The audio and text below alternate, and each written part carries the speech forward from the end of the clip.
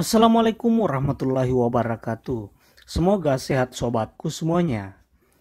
Suatu hal yang menjadi tanggung jawab pemerintah adalah memberikan bantuan khususnya untuk kebutuhan sehari-harinya. Namun bukan untuk semua orang, namun dikhususkan bagi yang tidak mampu atau dalam kata lain tidak mempunyai apa-apa yaitu untuk kebutuhan khusus makan tidak mencukupi, meskipun sudah bekerja ataupun memang sudah tidak mampu bekerja lagi.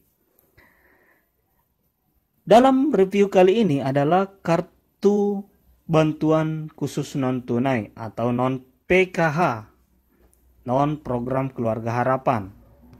Meskipun pada logo kartunya masih menggunakan PKH Tentunya dari pemerintah via Kementerian Sosial Republik Indonesia.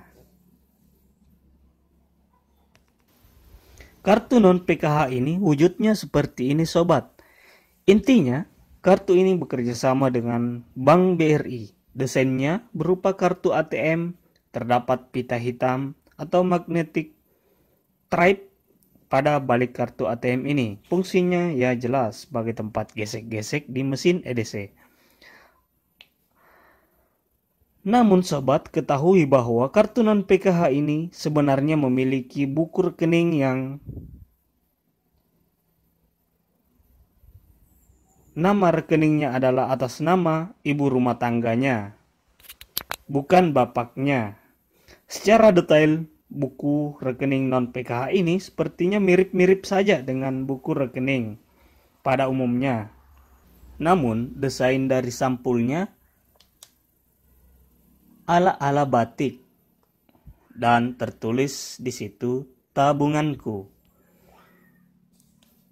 Namun perlu diketahui juga sobat bahwa untuk mencairkan dana kartu non PKH ini wajib menggunakan kartu ATM-nya tidak bisa dengan bukunya langsung di bank BRI atau teller. Dan hanya bisa ditarik pada toko atau agen tertentu saja. Jadi, kartu ini tidak bisa dilakukan penarikan langsung berupa uang tunai pada mesin ATM ataupun agen briling. Karena harus diambil pada toko agen yang telah ditunjuk.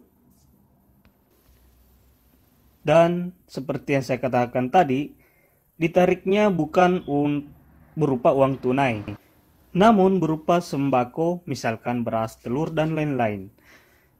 Demikian sobat, semoga bermanfaat. Jangan lupa subscribe, like kalau ada tambahan atau pertanyaan, silakan komen. Wassalamualaikum warahmatullahi wabarakatuh.